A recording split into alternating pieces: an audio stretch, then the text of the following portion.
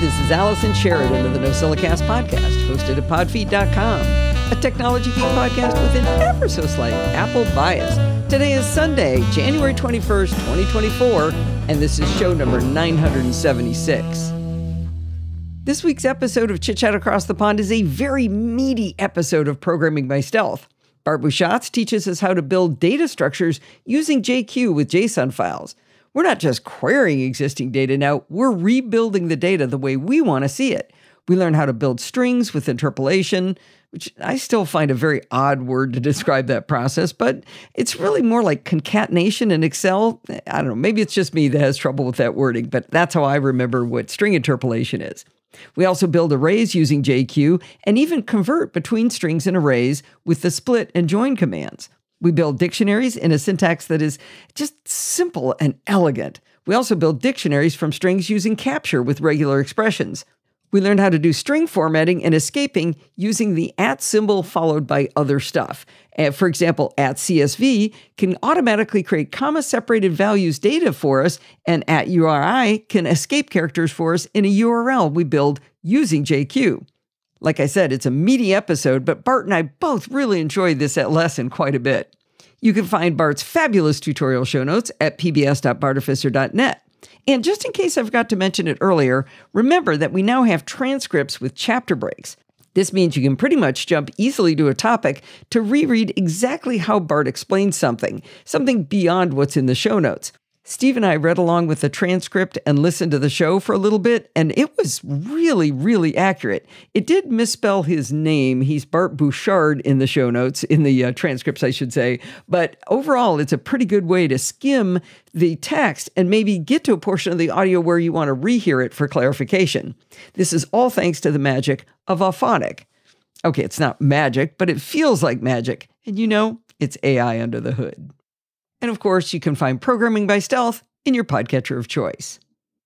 All right, let's get started with some interviews from CES. Now, I do my best during these interviews to make sure the person I'm talking to knows this is for an audio podcast, but that there will also be an audience watching the video. The first interview is about an electric outboard motor, and it's really something cool to see. So if you're just listening, it might be fun to also click the link in the show notes to watch the video. We see a lot of things with electric motors, but what I haven't seen before is an electric motor for a, a powerboat. So what we're in the uh, Kahe booth here with Christian Ollier to talk about the first multifunction electric outboard motor, and that's that's a crazy concept. We're going to describe this, but uh, tell us first what's what are you uh, what are you building here? Uh, first of all, we um, we wanted something uh, pure and electric Okay, it, it, it was the first idea. We want to participate to the decarbonization. So we created, we designed and created um, electric motor for boats, 100% electric, 100%, with a new generation of battery. It's an eco-friendly battery. It means, I changed my words. Yeah, that's good. It means He's, uh, let me describe this for the audience while we're talking. This looks like a little white torpedo. It's Yeah, really cool looking. He- he's taken the nose cone off of it. Go ahead and pull it out. Yeah, it's the, the, the, the best shape is a torpedo. Yeah, of course, of course. It's aerodynamic. And, and uh, wh- when I talk about electric, is no odor, no uh, reject, car- carbon reject, and uh, our battery is a new generation one. It means uh, you can uh, repair it and we, you, you can recycle it. Oh, good, good. For, for example, this prototype uses uh, absolutely second life cell, only second life cells, Okay. which is very important for the recyclability. Oh, gotcha.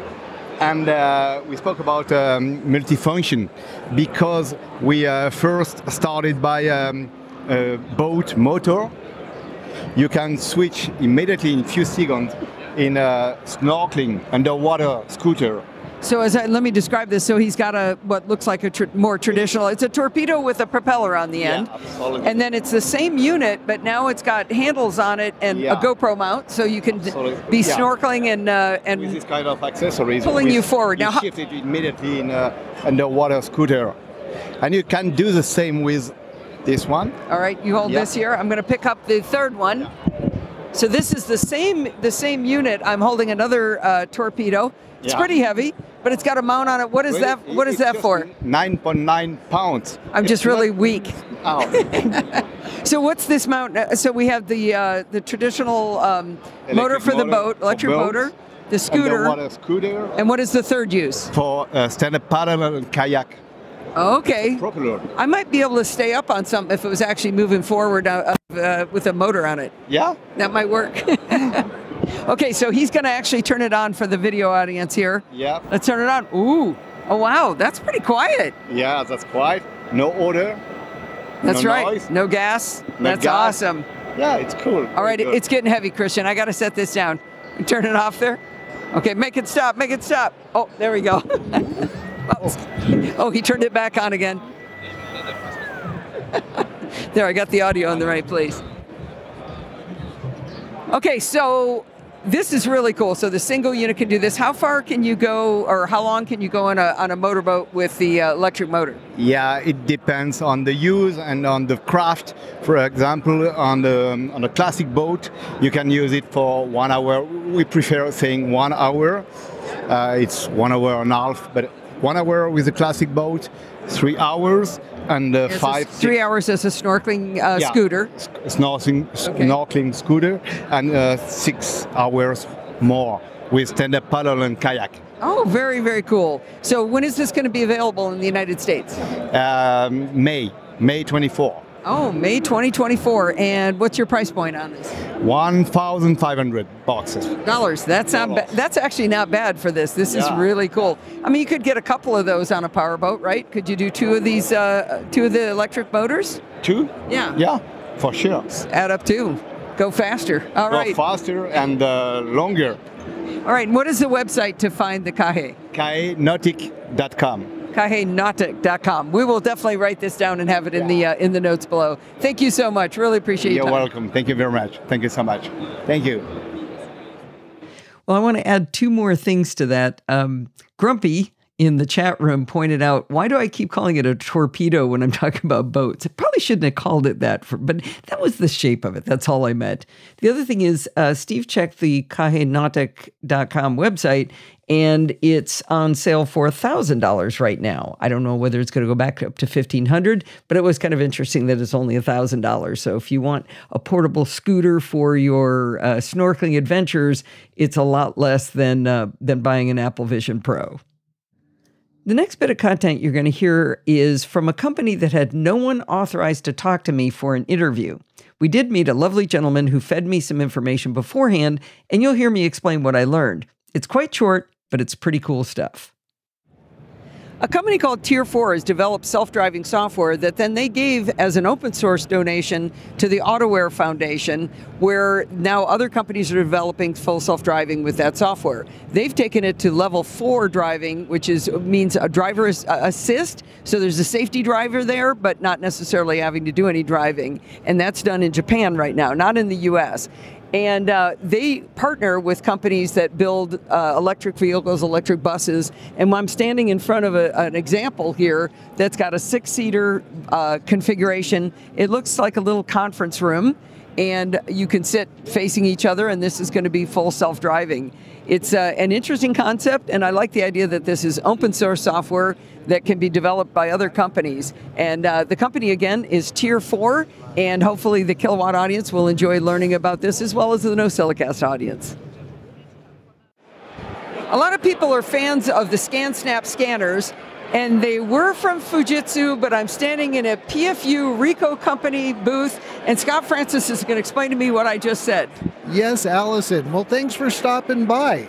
So, the former Fujitsu company that has made Fujitsu scanners for over 30 years was acquired by Ricoh. Ah. Ricoh now owns a majority, 80% of our company. So now we've gone from the Fujitsu logo to Ricoh. Okay, that's good, but Ricoh's a household name. We're good with that. Ricoh is an excellent name. They make great products, so we really found ourselves right at home under the Ricoh badge. Yeah, that sure sounds like it. So you've got a couple of things here. What I'm really excited about is portable displays. I think portable USB-C displays have just like revolutionized my life. I think they're cool. So you've got an offering here. I think it's one of the best new products that most people didn't even know existed. Didn't know they even needed.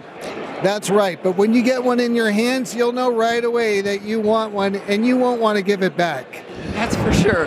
I bought one. My da- I gave my daughter one, and then now she's she's basically like a salesperson at her office for them. so, Oh. what, what is the offering from Ricoh?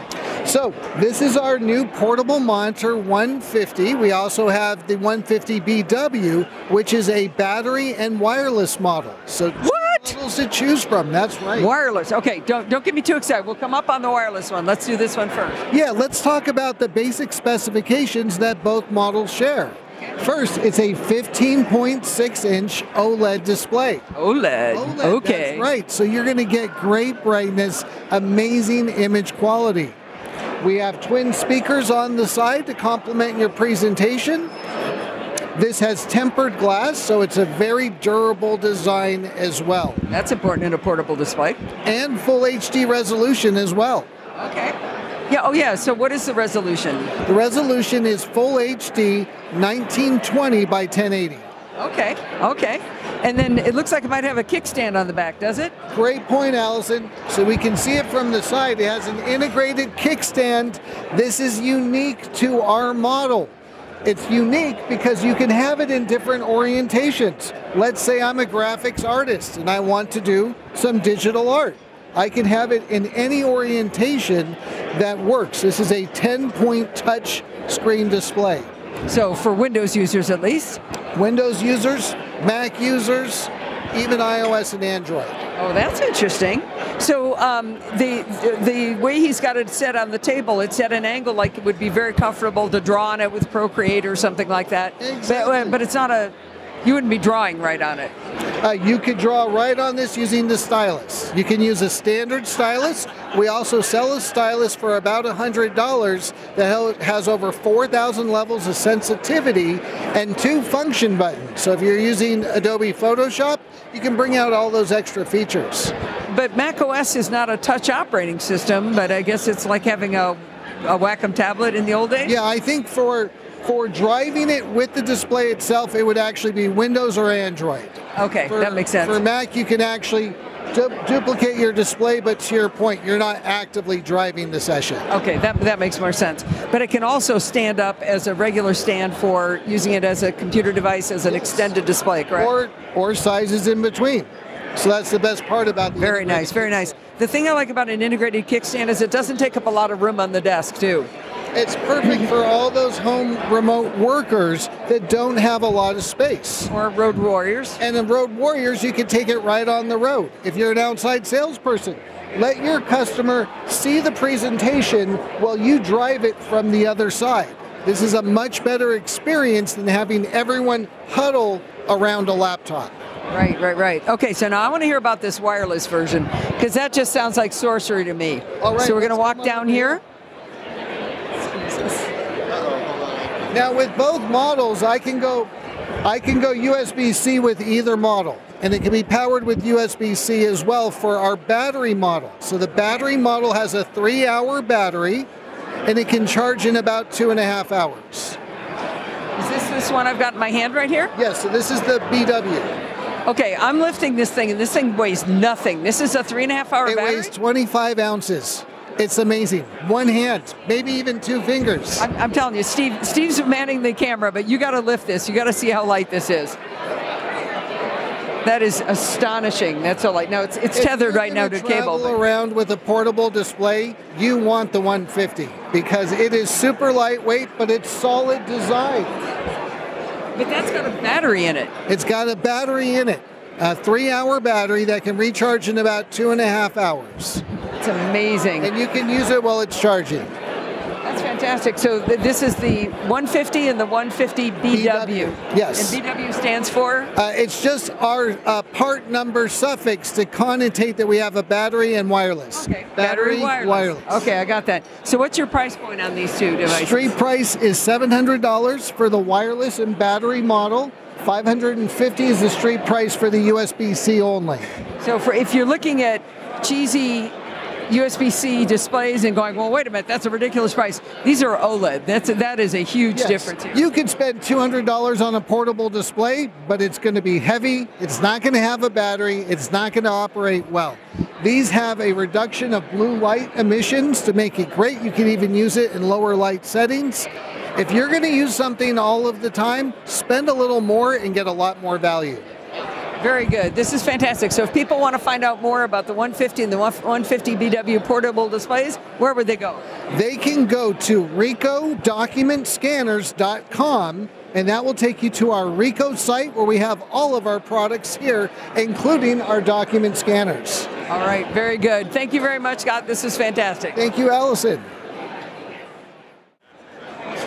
I got an assignment from Mac Lurker, Dorothy, asking if I would go to the Tandem booth, and I'm here with Ben Marr to talk about their uh, diabetes pumps, and we're going to learn a little bit about how these work and maybe answer a couple of Dorothy's questions. I've got them up on my phone. So welcome to the show, Ben. Thank you very much for having me.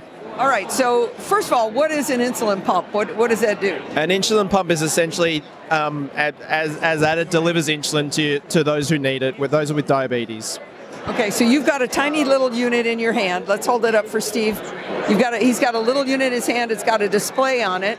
It's uh, smaller, like half the size of a deck of cards, I'd say maybe. And it's got a display showing insulin levels and a bunch of other great metrics, I assume. Yeah, correct. It's it's actually monitoring your your insulin, um, your continuous glucose monitors your blood sugars, and it's showing you the history of that, and it's showing you the history of the adjustments that the pump's been making over time to your insulin to keep you in range. So, from my limited understanding, I've been taught by Dorothy, a continuous glucose monitor is uh, something that you stick to your arm, for example, a little Yeah, patch. I'm, I'm, I'm, I can show you one right here. This is called the Freestyle Libre 2 Plus continuous glucose monitor by Abbott.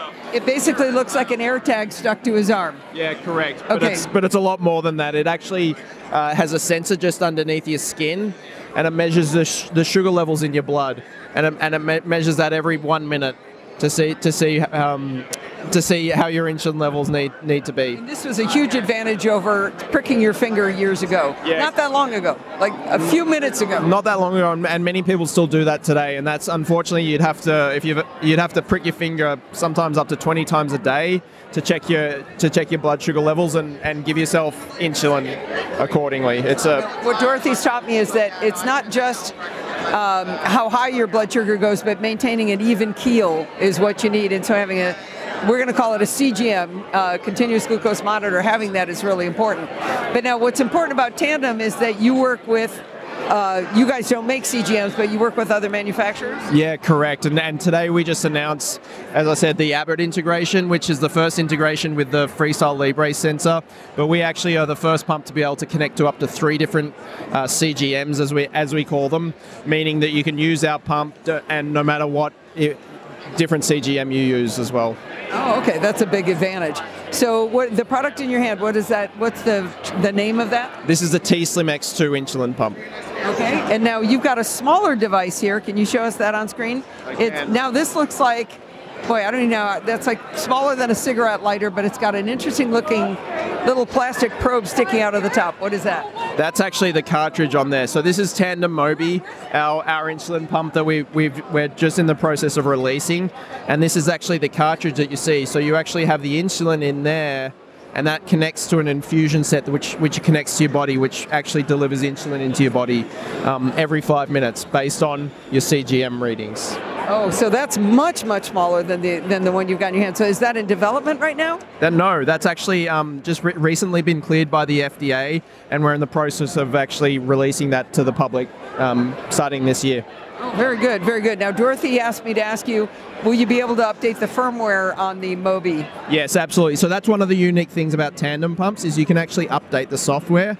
So today, as I mentioned, you, you update your software and you can get you can start to use the Abbott sensor Um, both of our pumps will be t- completely up, software updatable, and, and the the unique thing about this one is there's no ports on there, so it's completely wirelessly updated via via the compatible mobile app.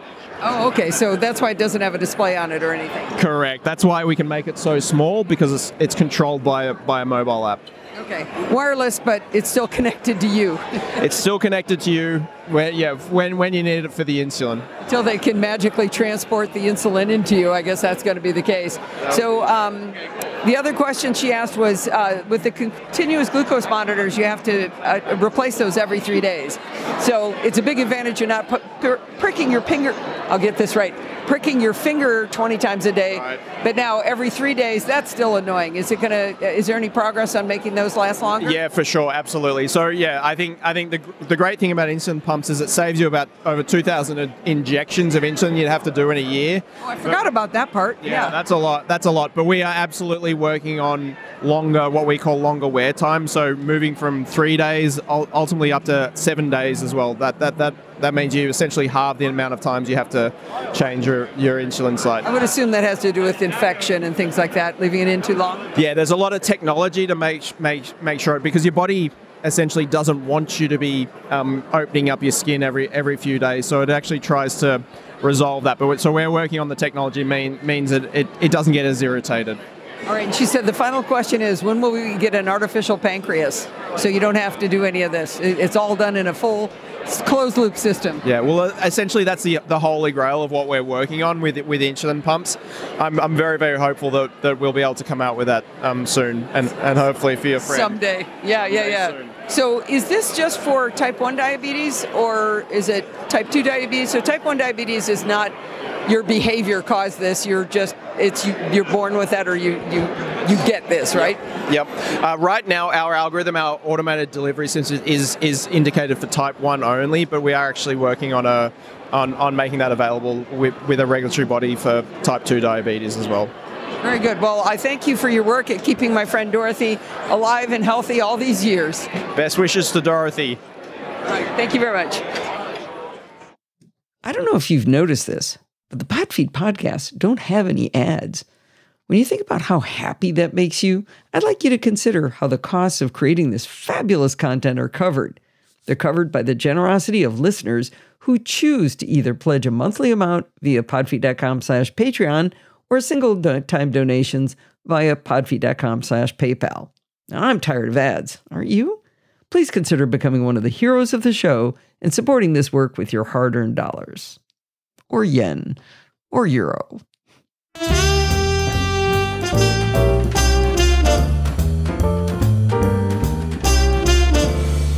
Well, it's that time of the week again. It's time for Security Bits with Bart Busschots. How are you today, Bart? I am good. I got out on my bike and on my walk before the worst of Storm Isha. So, uh, yeah, I'm good. I'm all exercised. I won't say I stayed dry. That would be a lie in the extreme. But compared to what's happening out there right now, I did good. Hey, well, Tessa and I went for a walk in the rain yesterday. It was it rained nearly a tenth of an inch while I was out there. A half an inch in a in a day. Oh, wow. Did I tell you that Carrot Weather gives you an annual statistic page? But mid January, it sends you a push notification. I had 76 centimeters of rain. Let's see, what is that in freedom units? 76 centimeters, 30 inches. And my hottest pretty good. temperature, my hottest temperature was 28 Celsius, which is probably you on a fairly average summer day. Let's see, that's wait, 28. I'm guessing 82. for- Well, no, we're, we're we're really in the high 70s here. That's that'd be a smidge high. a smidge. high, Yeah, but it's not 100. Like, it's not the kind of temperatures I hear when Americans talk. Like, Bodie gets a way more than that, right? Oh yeah, well, he does live in the desert, so True. And my coldest was only minus four, which isn't too bad, actually. But that's definitely colder than you. You, you There don't go, go. minus. You All don't right. do Well, this isn't uh, weather bits. We should get stuck in. Indeed. So I have two follow ups of stories we have been following. Um, so a couple of weeks ago, we had a whole bunch of security mediums where it was one of those you should be aware that it's possible to blah, blah, blah, and you can't protect yourself yet. But if you ever can, I'll let you know. And one of those flaws was that it was possible to become an attacker in the middle, between an Apple Bluetooth keyboard and your Mac. And therefore, the attackers could see everything you typed, or worse still, inject keystrokes of their own, which is obviously dangerous. And at the time, there was no patch. Well, I am happy to say you may now patchy patchy patch patch. If you update to the latest versions of the Mac operating system, your keyboards will be fine. So do that. Hot diggity dog. Uh, in other good news related to Pegasus, these are not words I often put together, but uh, the people in Kaspersky are obviously very interested, given that they have literally been attacked by some of these kind of things. They're they're always quite keen to try find better ways of finding this kind of spyware. And they discovered that your iPhone has a log file that it writes every single running process to disk on shutdown. And one of the things you should do if you're afraid you're being targeted is repeatedly reboot your iPhone because nothing can survive a reboot because of secure boot. And so this technique allows them to see what was happening in RAM as they shut their their phone down. And then when the phone reboots, they can read everything in that log file and they have published scripts that anyone can run against their logs. And it will tell you whether or not there is something that looks like a suspicious process running on the device at the point of shutdown. So, cool hmm. feature. This should make it nice. easier for Citizen Lab and all of those other people who are finding all of these things that the spyware is up to to find the spyware. So I, I think that's good. And we have two deep dives, and they're both of the category of this isn't good, but it's not ca- catastrophic either. Uh, the first one actually is more a case of explaining what everyone was talking about. So there has been a thing I have not been telling you about for about four months because it's never quite been a solid enough story that I could speak to it with any sort of anything short of massive amounts of hand waving. So there have been cyber criminals offering for sale a version of encryption malware that they claim can resurrect people's Google sessions even after they change their password. So what hmm. the, the attackers are selling is the ability to get back into someone's Google account after they change their password because you were in there already. And that's certainly a good big claim. But there was no wood behind the arrow to explain how that might be possible or if it was even true. It was just, it has been reported that this is for sale on the dark web, but no one was no one had enough actual information for me to, to, to put it in the show notes without you being cranky at me. But literally the day after myself and Jill recorded, we finally got the detail. I was very cranky with myself because I again passed it over. It was in my RSS reader, and I said no again. And then Tom Merritt explained it all because he had read a news article I hadn't read yet um, over on Ars Technica, I believe. No, Bleeping Computer was over on Bleeping Computer. We finally got the details. So now I can tell you that yes, it is true, but there's lots of caveats, and I can explain it.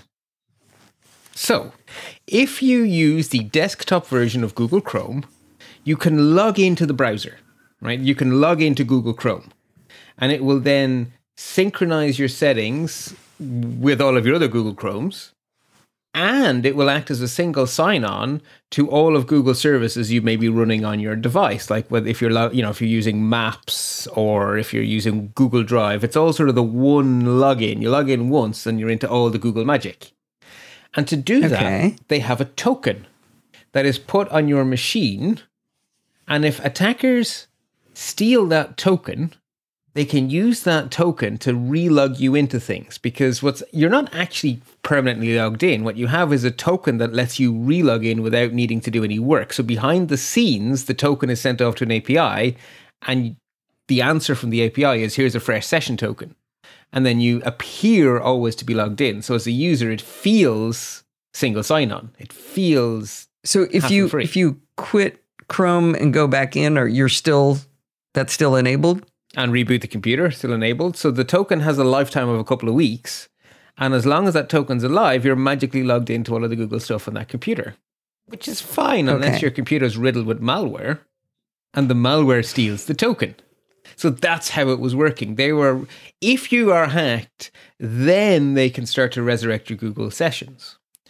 And when you change a password on any modern site with multi-factor authentication, it- or not multi-factor, in fact, if you have any site where when you have a client, you don't enter your username and password, the client bounces you to the web, you log in on the web, and then you get bounced back to the client. That's called OAuth. So Twitter, Okay. Twitter slash X, Mastodon, they all do this little dance through the browser and back. What that's actually doing is letting the app log in without your username and password. The app never sees your username and password, so the app can't lose your username and password. But it means that there's a connection between your account and that app. And so when you log into your account on these services, you can list all of the apps that are authenticated. And so if you log into your Apple ID, you'll see all of your devices. If you log into your Google ID, you'll see all of your devices. If you change your password, it doesn't affect those connections to those devices. So you may think I have locked everyone out of my account. But if you haven't deactivated all of those connections, their token is still valid, and the token being stolen is one of those tokens. Oh, okay. So the actual lesson is not because it was initially reported as Google have a major bug. It's not. It's everything is working as designed. If you have an account that allows you to connect devices, whether it be a login with Facebook, a Apple ID, anything that allows you to do that kind of a login through the browser to multiple apps, if you change your password, you have to go in and disconnect all of the other apps and things. Otherwise, you haven't really changed all of the keys. That makes sense. It does make sense, but you have to think about it. So, actually, this is a perfect excuse to remind us that changing your password may not be doing everything you think it's doing if you're using modern applications that use OAuth. it- this maybe I'm being I'm missing a big point here, but it seems obvious that you would have to log out of. I guess it's the fact that that token exists in the first place that is the the new information. I mean, it's not even new information. Basically, you think it's obvious because you're used to having this idea of connected devices. But I think a lot of people would assume that if I change my Facebook password, then everything I logged into Facebook, everything I use login with Facebook, it would also be fixed. But it isn't. So that's the, the reminder. If you do a login as with anything, whether it be Google, Microsoft, Facebook, X, Twitter, your Apple ID, changing your password doesn't lock all of those things out. Okay. So- Okay. Anyway, so it's really it's not a you know it's not a bad news story. It's just bear this in mind. And again, don't get hacked. How do I protect myself from this malware that's being sold? don't get hacked. Then they can't use this tool against you. Deep dive Right. number two then is less happy happy. Oh, but it, we did oh, include some instructions on, on how to deauth or log out of all your devices in one fell swoop. It's a real simple process. Apple has a support article on it. Google. Sorry, Google. Yes. And thank you, Allison, because you actually deserve the credit for digging up that link because I basically went, I don't have a Google account, so I don't know. And you were like, yeah, Bart, you could Google how to do Google. Oh, yeah. It was uh, it was real hard. It took me a, a split second. yeah, but that was time I spent de-ickifying the iMac I'm giving away to a good friend of the show. Anyway. Uh, deep dive number two, then. There are caveats. This is not the end of the world, but this is not a happy, happy, joy, joy story. And again, this one started off very fuzzy. So, and a Chinese organization associated with the Chinese government said that they had developed the ability to de anonymize airdrop. And that immediately makes me suspicious because it's very much in their interest to say that because airdrop is being used to share information without using the internet and these kind of easily policeable channels. And so they want people to be terrified of using airdrop because they can't control airdrop. So there is a. This may not have been true. However, it appears it is true ish. So there's a couple of facts we now know. Um, due, right, because it is possible with airdrop to say only allow connections from my contacts, there is a mechanism for sharing who is and who isn't your contact, but the intention is that that should be anonymous. But that means you have a need for some sort of hashing And it can't be a salted hash because then the hash will be different every time, which defeats the purpose of detecting whether or not it's one of your contacts. So they're just plain old hashes, and they have to be. And security researchers have been poking at these hashes for a couple of years because if you listen in over Bluetooth at the point in time when there's an airdrop happening, you can see the traffic flying over and back, and you can see these hashes. And so security researchers have been looking at these hashes for years, and they have had critiques. Basically, it is not infeasible if you are a nation state to throw enough resources at it to start breaking these hashes. And so researchers have even gone so far as to suggest to Apple better algorithms they could be using for this. But the researchers have sort of said that would probably break backwards compatibility. And so Apple would need to take the bull by the horns and basically say that unless you're running the very latest version of iOS slash macOS, no more airdrop for you, which they may be forced to do at some stage anyway because this protocol is getting old. But the hashes are not cryptographically as good as they could be. But even at that, that shouldn't make it possible to do what the Chinese government say they can do. So there's another piece to this puzzle. And that is so we know that a hash is easy to go from plain text to hash, but hard to go from hash to plain text without spending half the universe calculating it. But of course, an attack that's been used for years against hashes is a so called rainbow table. You start with every possible input, you do the forward calculation, and you save all of your results in a giant big lookup table. And so a forward rainbow table of all eight character passwords is not that big because you have eight times seven times, you know, the amount of permutations is not astronomical. But the amount of possible Apple IDs in existence is astronomical because they could be really short or really long. Like there are so many possibilities. So no computer could store a rainbow table of every possible Apple ID, and no computer could calculate the hashes of every possible Apple ID. So it is physically impossible that the Chinese government have such a rainbow table because it wouldn't fit on the computer and they could never have made it. But they know what phone numbers exist in China. So they didn't have to calculate every possible hash. They just needed to hash every Chinese cell phone number. Wait a minute, wait a minute. What's how's the Apple ID related to the phone number? Well, when you use AirDrop without being signed into Apple ID, you're doing it on your phone number, or you can do it based.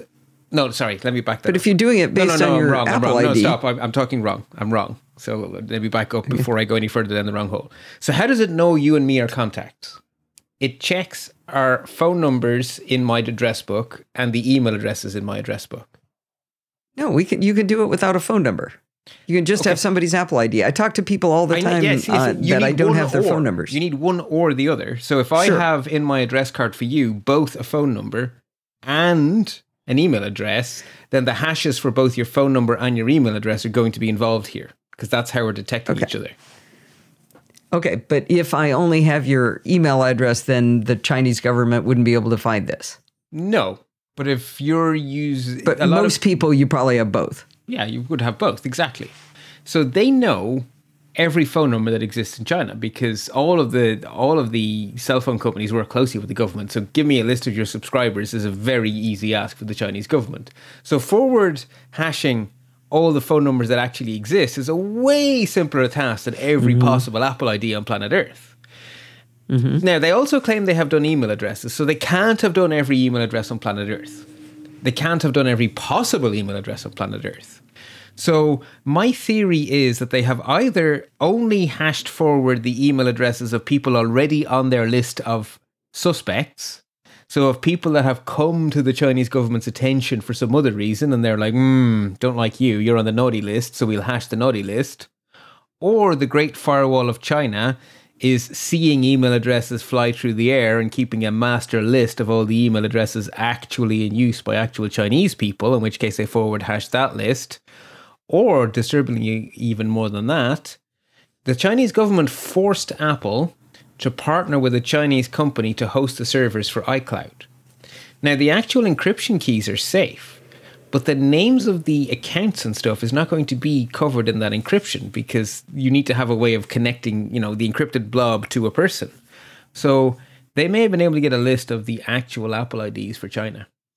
Anyway, I don't think this affects your typical Castaway because in order to actually get these logs, the Chinese government either have to be sitting there listening to your Bluetooth, or they need to get your phone off you, get you to unlock your phone so they can get the log file so they have the hash. So if I was politically active in China, I would be very worried about this because if they get my phone and force me to unlock it, then they could know who I was airdropping with. But for the rest of us, this isn't as big of a deal. But I do think that at some stage, Apple are going to have to reinvent their hashing algorithm here. And so we all may suffer airdrop becoming unreliable. That's never happened before. so I, I, yeah, that's kind of all I can think of to say about that. So I don't know if if you want me to dig into any other aspects of that, or if that makes sense. No, no, that does make sense. Cool. Action alerts then, just two. Patch Tuesday, been and gone, 49 flaws, 12 remote code execution bugs, so patchy, patchy, patch, patch. And Google have had the first zero day of the year on their Chrome browser, so patchy, patchy, patch, patch, which for Chrome means turn it off and turn it on again. Do you know whether that's Chromium or Chrome?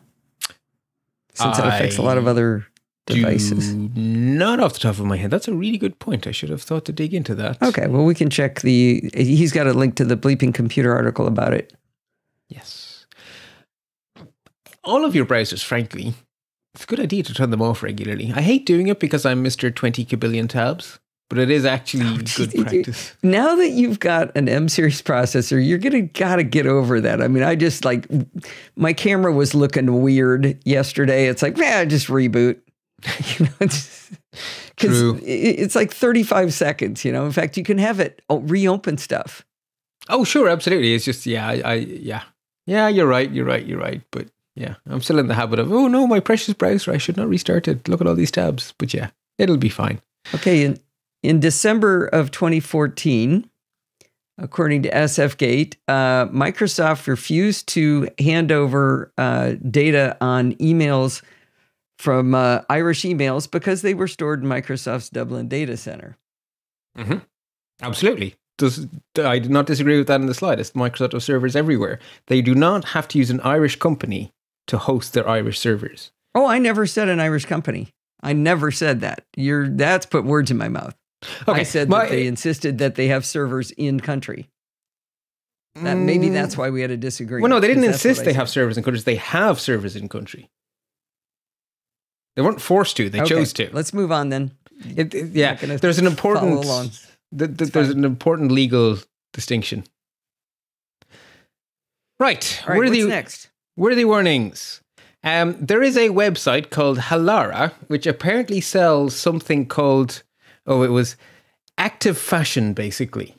So I think that means fashionable tracksuits and things. I use fashion. It's beyond me. They have leaked the details of almost a million people. And they don't seem particularly keen on figuring out what's going on. So when Bleeping Computer contacted them, they were very, yeah, we're looking into it, we're thinking about it. So Bleeping Computer decided to take the data breach and check if the data is real, and in their random sampling, it is real. So it appears that the Halara people have not informed the victims, which is annoying because that's become my new rule here for whether or not stuff goes into the show notes. If the victims have been notified, I don't bother telling people because if it affects you, you have an email. But in this case, they haven't. And there is enough information in here not to steal your credit card and stuff because it thankfully isn't financial data, but it is way more than enough for very convincing phishing, smishing, or vishing emails because it has it even has basically SMS, uh, so cell phone numbers and stuff, so they could do SMS based phishing or, or even voice based phishing with the information they've lost. So if you shop at this place, it's only be aware. Fifty thousand people, Bart. yes, in the post Yahoo breach days, it's tiny. You're right. Yeah, tiny. What are we talking about? Hmm. Um, I, an interesting wording warning from Bleeping Computer it is January, And one of the things that happens in January is a lot of companies give their employees updates on their 401ks and things like that. And so security companies have observed scams pretending to be your company's HR department, telling you about changes to your 401k and asking you to log in to verify something, only the login page is a fake.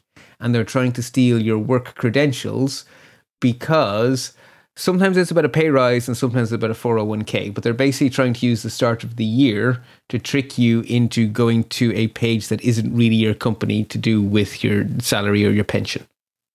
So beware. That's kind of an interesting hack or an interesting scam because they'd have to know where your 401k was. I mean, there's some big players like Fidelity, for example, but uh, they'd have to know, or yeah, actually, they don't have to know. They only have to be right some of the time. Yeah, there you go. That's the magic sauce, right? Yes. Right. Yeah. So, yeah, and it's cheap to send emails, so you can be wrong a lot of the time and still make a profit. Uh, another worthy warning uh, Bleeping Computer, again, doing some original reporting here, which is kind of nice to see them doing that. Um, they are warning that there are Instagram profiles which are duplicates of real Instagram profiles, and they are being used to try to do romance scams. They are being reported to Meta, and Meta are not acting. So there are. What? Yeah. I'm shocked, Bart. Like in this, it's so obvious. Like they're, they're, they're, there's two profiles, both on Meta. One of them's up to fraud, and one of them isn't. Ah. Anyway, just Next a thing you're going to tell me, you're going to tell me that uh, Twitter isn't blocking bots. Yeah, put a pin in that for a minute because we we do get to talk about those charming people shortly. Um, and just because I'm perpetually amazed at what ransomware crew get up to, there is another new technique. So myself and Jill talked about and a, a different new technique, triple extortion. Well, they've now started to do something else, which is slightly clever. They're starting to send fake emails offering hackback services to the victims, saying, don't pay the ransom, pay us, and we'll hack them back and delete your data for you. But they're fake too. oh my God, it's just, you know, fakery all the way down. So, anyway, this is All right. trickery, trickery, trickery. Moving on to notable news. These first two stories I'm slightly nervous about because I don't have the world's best answers on them, but I do think we should mention it. Um, there is another UEFI vulnerability. It's called PixieFail. If you're wondering what, what UEFI is again. so UEFI is the follow-on to Ye Olde BIOS. It is the firmware that is the very first thing your motherboard does when you hit the power button on a PC. And Apple are using EFI, which is actually less advanced than UEFI. Um, but it, yeah, it's it's the firmware of your computer. And UEFI is now the standard in the PC So industry. this is nothing to do with the operating system. This is there when you when you boot up very very early in the process. Yes, its job is to load your operating system. before you boot up. I should say. Yeah, it's there to find your operating system and start it. And there is a thing called PXE boot you may or may not have heard of. Your your computer, even before it has an operating system installed, can boot over the network. And that's how you can do things like clone a computer across the network. So if you're working in corporate IT, you can send an image at a whole office full of PCs. Well, the way you do that is by using the UEFI to actually talk straight over the network to some sort of server that hosts a copy of the operating system you want to stamp everywhere.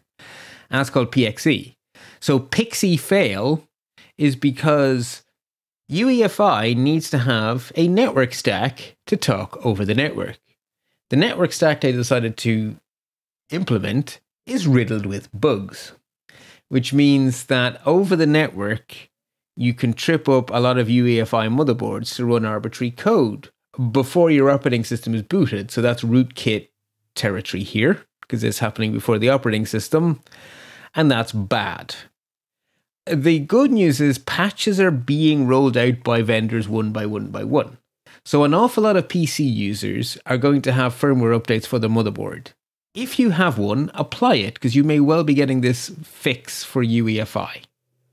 Thankfully, a small silver lining here is that the attacker needs to be on your LAN to attack you. So in in a local area network. So in a family environment, unless your kids are out to get you, you're probably fine. And maybe it's a good reason to have a separate guest Wi-Fi network so that they're not all sitting there looking at your computers. But that's kind of the best we can do there. So keep an eye out for motherboard updates. There's an important reason you want one, along with the other UEFI problem with the logo being a way to hack your, your computer that we talked about a few weeks ago. Slightly similar vein, LeftoverLocals is a bug in a whole bunch of GPUs. And one of the things we use GPUs for these days is AI, machine learning, and large language models. And AMD, Apple, and Qualcomm have GPUs that all make the same whoopsie. They don't clean up after themselves. So you run some machine learning or you do a large language model and it leaves the answers lying about in the chip. And other people sharing your GPU can read what you've been up to with AI. So that immediately puts us, it's not speculative execution, but it's awfully similar because with speculative execution, if someone else is sharing your CPU, they can steal data. Well, in this case, if someone is sharing your GPU, they can steal data. So for us home users, we don't we can stop panicking, even though this has a fancy pants name, because this is a problem for cloud providers because you can rent GPU space in the cloud because you use GPUs to do AI. So most GPUs today don't do any graphics ever. Most of the GPUs on planet Earth are now powering ChatGPT and the like, which is kind of weird, but that's the new reality. Uh, the other good news for us is that Apple have patched their A17 series of chips and their M3 series of chips. It doesn't affect the older A series chips.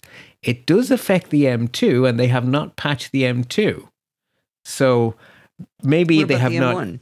It doesn't affect the older ones. So your M1 is fine because it's too old, but the, The M2 M2 is even not fine. It's older. Even So though the- that's older than the M3, that's still uh, affected. Yeah, so the M2 is old enough to be affected but hasn't been patched. The M3 was affected but has been patched. So they haven't gone back in time far enough yet. AMD have also patched many of their motherboards, but not all of their motherboards, and any uh, sorry GPUs. And Intel, Nvidia, and ARM are unaffected. So if your PC is running an Intel GPU, not your issue. If you're running an Nvidia, not your issue. And if you have a phone running an ARM GPU, you're also fine. So So On the, the whole- GPU in the ARM M2 uh, chips is that's not an ARM GPU. it's not an ARM GPU because Apple do their own. even though it's an ARM chip. Do you remember that the absolutely fantastic friend of the show? Uh, ah, I know a little more. Oh, why does my brain always go? As soon as I'm trying to credit someone, my brain goes blank. Tom Merritt. Thank you. oh, It's funny. Out of all of them, you picked to know a little more. Yeah, he did a thing on ARM. yeah. It's complicated. What it means to be an ARM chip is complicated in the extreme. Apple Okay. are on the area where they license a bunch of ARM's tech, but they also do a bunch of their own stuff. So an Apple ARM chip is as much applesauce. Ooh, that's a cool pun. Um, as it is ARM sauce. Okay, so what you really mean in your in your in the show notes is um, discrete ARM GPUs. That works. That would make it more specific. Okay, um, but backing up a little. Oh, I know what I was going to say.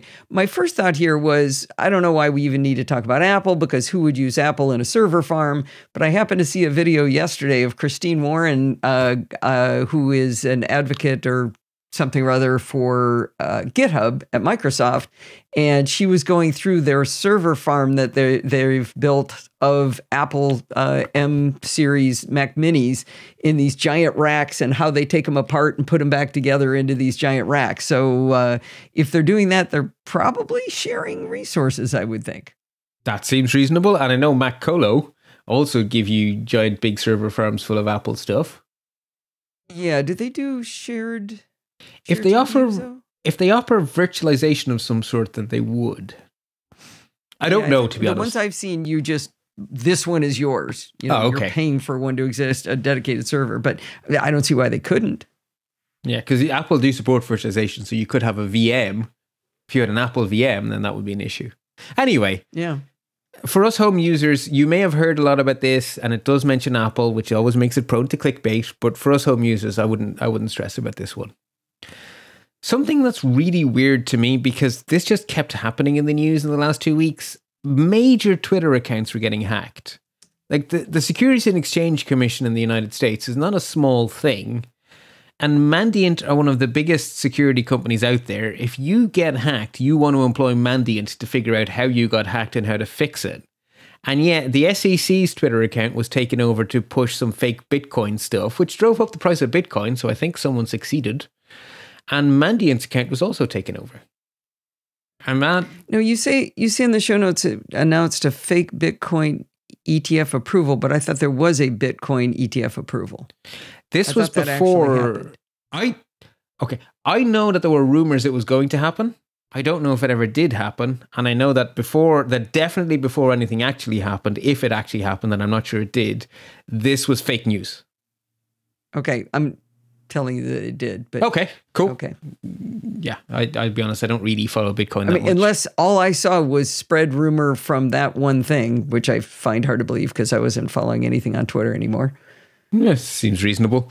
Uh, there were rumors that an ETF announcement was imminent. So that I don't know if that got misreported as this is happening instead of this is rumored to be happening. That happens a lot in media. But anyway, either way, it doesn't matter.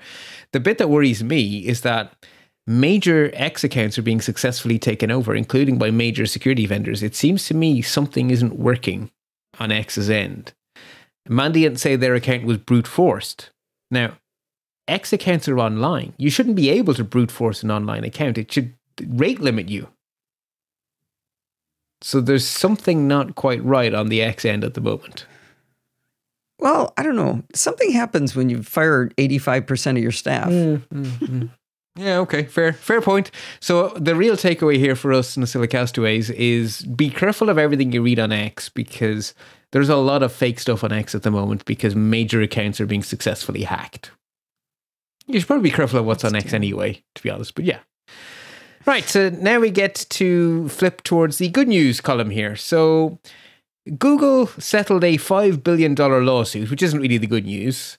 Uh, the reason for the lawsuit was because people were saying incognito mode was being deceptively described because it was promising more privacy than it offers.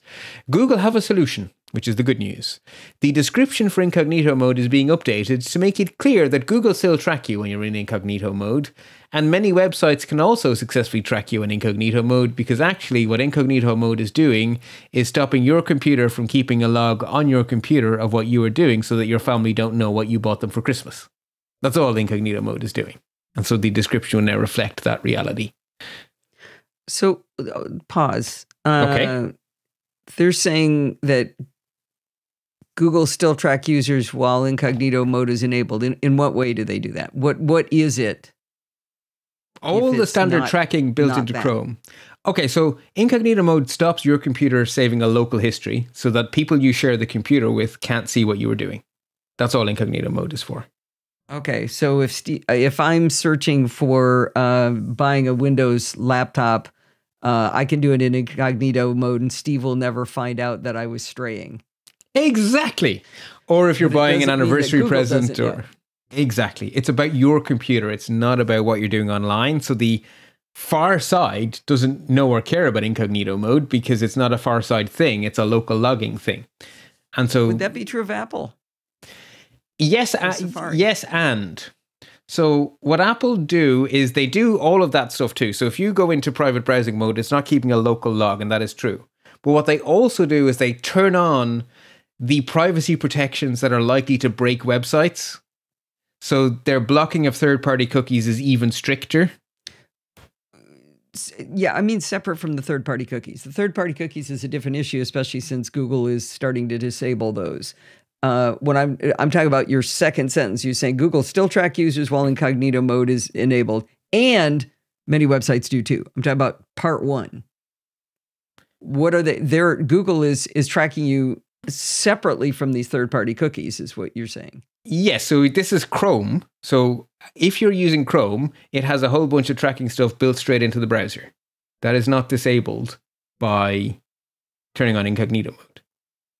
And do we know whether that's true or false with Apple? Uh, With Safari is what I was asking. Safari doesn't track using Safari does not track you with Apple. Apple like Safari doesn't have a built-in spying, Okay.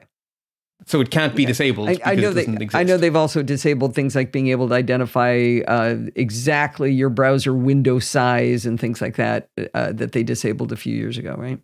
Yeah, so Apple and Firefox both turn on every single technology they can think of to protect your privacy when you go into private browsing mode. And they do it in private browsing mode because if you break something in there, it's not as bad as breaking it in the main browser. So they tend to use their private browser mode as a place to experiment with their more heavy handed Aggressive. aggressive thank you. Yes that's a good word.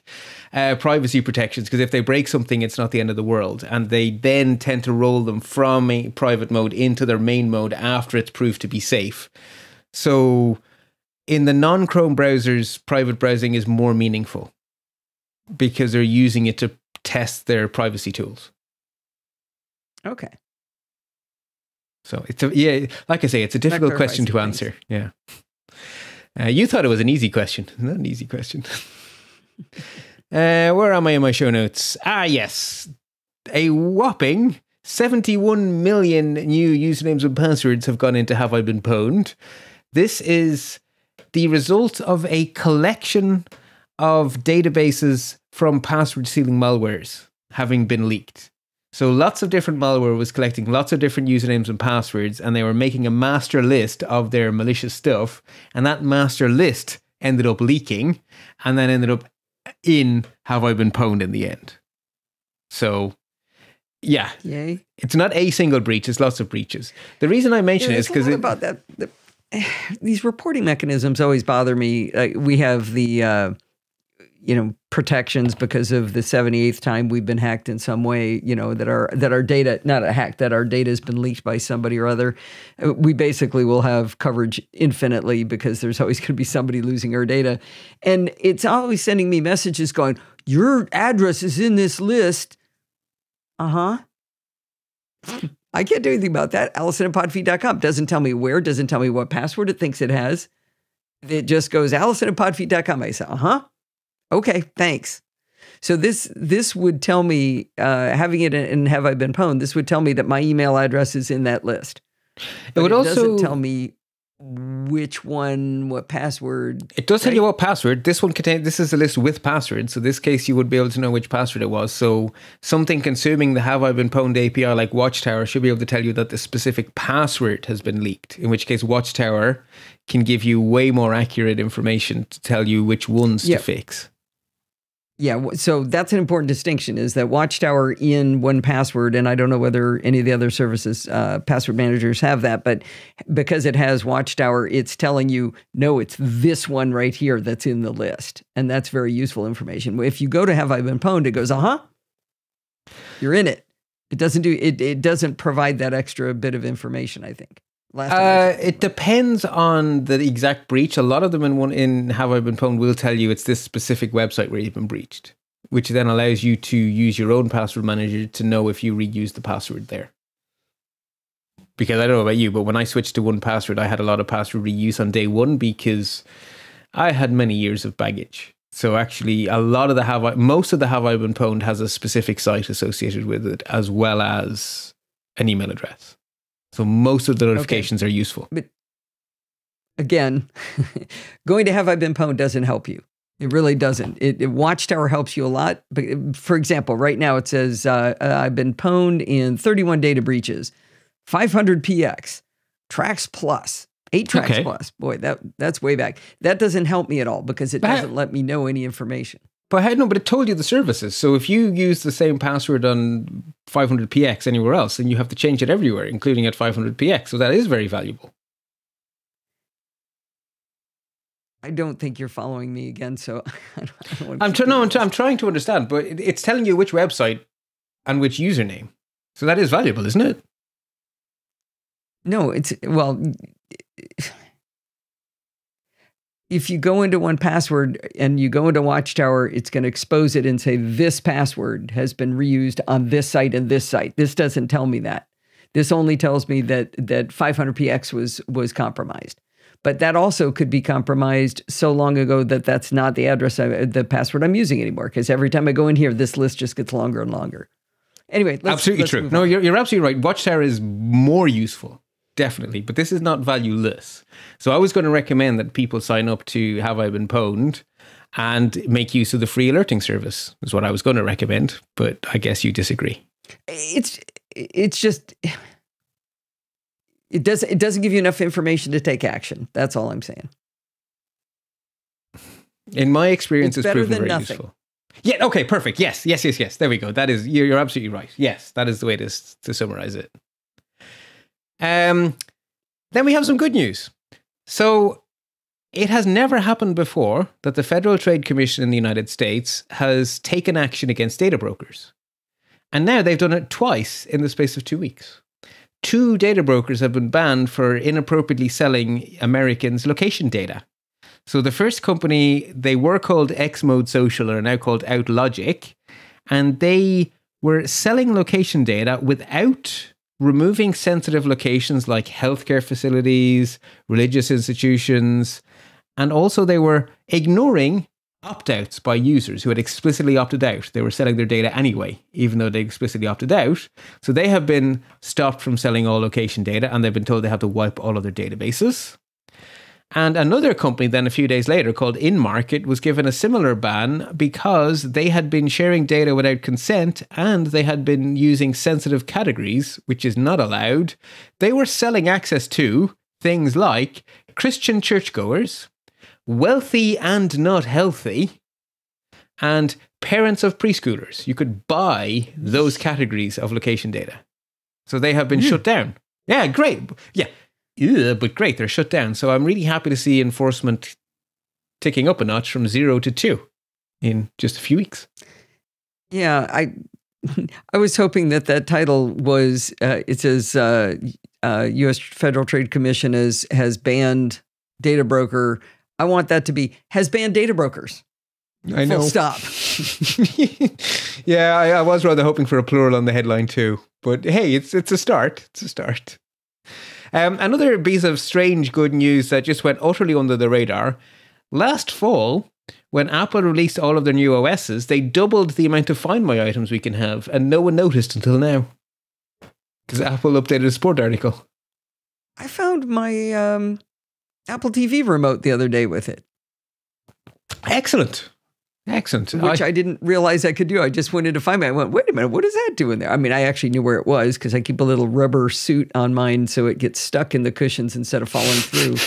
um, I, I want to give a big plug for Find My. When we were at CES, you can imagine when you're in the middle of, uh, you know, the North Hall of the Consumer Electronics Show with 180,000 people that there's maybe some electronic signals flying around. There's a little bit of EMI. You know, there's there's possibly a Wi-Fi. You know, cellular service and and even GPS can't get through. You literally you can't use GPS. But you know what I could use to find Steve? I could use Find My Huh. with the uh, ultra wideband. So because we both have uh, iPhone 15 Pros, the new ultra wideband 2 chip, I believe it is, it now gives you that Find My capability where you get the little the little kind of sprinkly dots and a closer, closer, farther, farther, you know, hotter, colder Yeah. kind of a thing. And it shows me that no, he's over to my right diagonally, and I can walk towards him, and I can see it go from you know 100 feet to 38 feet. Um, there was a point where we were in a cafeteria and it was this huge area of seating and this and all these different places you could get food from. And i was charged with trying to find a table which was quite difficult. And he was charged with trying to get food which was also difficult. And we got separated and i couldn't see him but i was able to keep watching when he was started to get closer. And then i could look towards him and start waving my arm so he could find me. That's so I'm really a big cool. fan of uh, ultra wideband too That is really cool, and I have I have regularly used it to find things stuck between the seat cushions actually, and it does work really well. There's one small thing I want for ultra wideband three. I want a Z axis because I was one room above where my thing was, and I was like, I can't get any closer than this, but it still says it's three meters away. And then my brain was like, Oh, that's about the height of a story. So I went I did, I downstairs. did an article on that on the NosillaCast. That was exactly uh, exactly what I had f- happen where we were looking for something, couldn't find it, and all of a sudden I went, "Wait a minute, what's directly above us?" If something had fallen in the closet above us, so Uh-huh. So I had the opposite problem. Yeah. Anyway, it works and I love it to bits. And then the last thing is that the FTC, hmm, goodness me, they've gotten a lot of mentions today. They are offering a prize of $25,000 to incentivize research into detecting AI voice cloning, which is now a major mechanism for fraud where people phone you with a fake of your relative's voice saying that they're arrested and they need help or something like that, or they're traveling and they need help or something like that. Oh, that's so mean. It is so mean, but offering a prize for research to detect this stuff is the opposite of mean. So thank you, FTC, because this is a major fraud thing that's happening. So uh, really happy about that. Two top tips then. Um, Facebook announced a new feature which they offer to you as a way to never forget the cool links you follow on Facebook. So every link you click on in your feed gets logged into this log if you don't disable it. And then they tell you in the terms of service, and we use it to target you with ads. So if you'd like to opt out of this new feature, instructions linked in show notes. And then Yeah, they do. They do ask you. I, let me put it this way: it, it is opt out, but they do ask you, "Do you want to be in this?" You're in it by default, so there is a pop up that that does ask you first. that's a strange mix. That's almost opt in, right? Almost opt in, missing missing the spirit of opt in, but Yeah. smelling a little bit like opt in. Yeah. And then the last one I have is just a recommendation for checklist episode number 358. Ken Ray basically gives you three very useful pieces of advice how to safely dispose of an old device, how to safely set up a new device, and some New Year's resolutions that might help you with your information security. Oh, I like it. I like So- it. Ken Ray's the bomb. I He's good love Ken. people. He is absolutely good people. And then in terms of palate cleansing, I failed. I, I did not find any palate cleansing, but thankfully you had a bumper week and you have two. I do. Uh, the first one is an XKCD cartoon that it's one of those ones that takes a heartbeat to get, but it's a group of people sitting at dinner, and the one person says, We don't have house guests often, but we once had six astronauts over for dinner. The other person says, Oh, wow. And then the first person says, For seven and a half milliseconds in mid August 2012. The caption says, If you spend enough time looking at orbital records and property lines, you can make this claim in a lot of places. Were Yeah. talking about the International Space Station. they were over for dinner. Yeah, well, the hover text was something to do with they didn't bring wine or something. I like it. And Bart was just mad that he can't instantaneously get that information of who's over his house, which astronauts are they, right? Yeah, I wish I could go to a website, punch in my address, and have it tell me that in 2012 you were visited by Boobity Boo or whoever. It'd just be cool. then I can make my own cartoon. like but yeah, it's fun. It's such a cool idea. I have a second one too. Uh, Basic Apple Guy is a great uh, person to follow on Mastodon. And they had a post that is an image and it says, How many Apple Vision Pro batteries would it take to watch the following films? And this is hilarious. Saving Pri- Private Ryan is 2.49 hours, so it would take one battery. Killers of the Flower Moon, being at 3.43 hours, is 1.4 batteries. It goes on and on and on. It goes through Lord of the Ring extended editions, Harry Potter, Star Wars Walker Saga, and the winner. All 10 of the Fast and Furious movies would take 9.4 Apple Vision Pro batteries. How are there just a funny 10? little graph. How are there 10 Fast and Furious movies? I did really enjoy the first one, but I can say it tapered off after that. I didn't know they got to 10. Yeah. It did a little bit. It did a little bit. But I mean, the fact that Killers of the Flower Moon would take 1.4 batteries, that That's says your movie's too long, Martin. Come on. or your battery's too short, Apple. Either way, it's No, an interesting metric. Martin Scorsese was mad for, I think it was Scorsese, right? He Yes. uh, was mad because some of the theaters were putting an intermission in the movie. like they used to on, do. Bio. you know, there's reasons you need to have an intermission. A, biology, and B, that was the norm when I was young. There was always an intermission. I think they had to like change the film reel or something. I'm sure there was a reason for it, but that was normal to have an intermission. It was a good opportunity to sell things in the cinema. Not that they're short of selling things in cinemas. But anyway, yeah, I, I need a P too. So yeah, definitely. How dare you tell them not to have an intermission? Anyway, that's all I got in my show notes. Um, so uh, I think what that means is I need to tell everyone yet again, because it's been three weeks I've realized. Remember, folks, stay patched so you stay secure. Well, that's going to wind us up for this week. Did you know you can email me at allison at podfeet.com anytime you like? Just send a question or a suggestion on over. You can follow me on Mastodon at podfeet at chaos.social. Remember, everything good starts with podfeet.com. If you want to join in the fun of the conversation, you can join our Slack community at podfeet.com slash Slack, where you can talk to me and all of the other lovely NosillaCastaways. You can support the show at podfeet.com slash Patreon or with a one-time donation at podfeet.com slash PayPal. And if you want to join in the fun of the live show, it was hopping tonight. Head on over to podfeet.com slash live on Sunday nights at 5 p.m. Pacific time and join the friendly and enthusiastic NosillaCastaways. Thanks for listening and stay subscribed.